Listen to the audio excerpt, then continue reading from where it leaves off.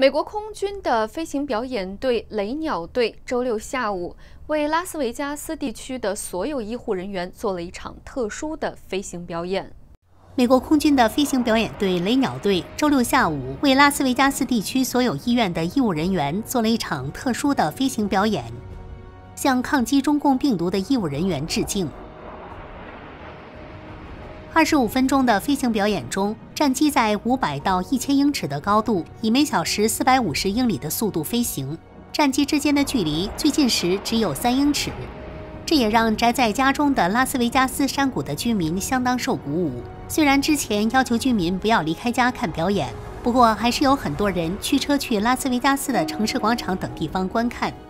雷鸟队在推特上向医务人员致敬。向我们国家抗击中共病毒的前线医护人员和急救人员致敬，他们在这个充满挑战的时刻为美国带来鼓舞。今天很荣幸能为他们飞行。到目前为止，拉斯维加斯所属的内华达州确诊两千七百多例中共病毒病例，其中一百零七人死亡。新唐人记者刘海英综合报道。